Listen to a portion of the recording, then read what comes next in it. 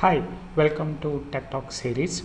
In this session, we'll learn how to convert a GeoJSON file into a shapefile.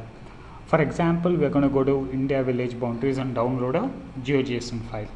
Uh, you can either download the whole folder or you can go to one of the states like uh, Kerala and go to one of the kl.geojson and download the thing.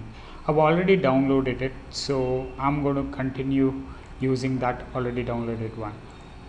Uh, anyway, the good thing is here you can see GitHub shows you the preview of the things. If you just want to download one states thing, you can just click on this download button.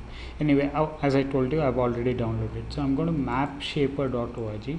As you can see, uh, it's a website based tool uh, where anyone can access. You don't need to install anything. Just go to mapshaper.org and click on this select. Now go to you wherever you have downloaded a geojson file like example i have downloaded my file is in downloads folder. Select that file and click open.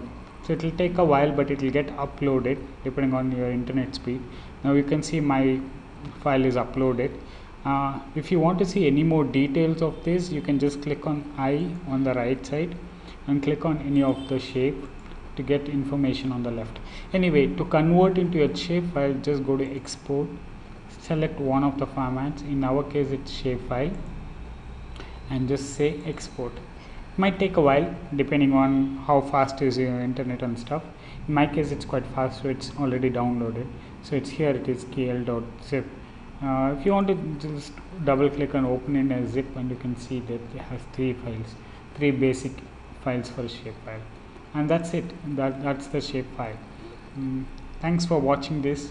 I'll come back later with another tutorial. Bye